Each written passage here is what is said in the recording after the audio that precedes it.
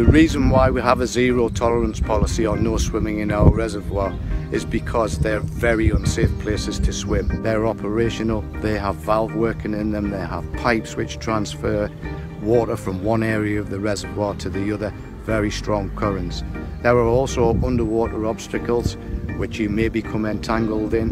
There are discarded fishing equipment. Our anglers are very good, but sometimes they'll get snapped off. There'll be hooks in there and nylon, which you can become entangled in. And also, sadly, there is antisocial behaviour where we sometimes have broken glass in the reservoir, so you don't want to be cut on any of that.